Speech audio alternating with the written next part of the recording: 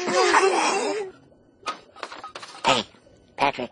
What? I thought of something funnier than 24. Let me hear it.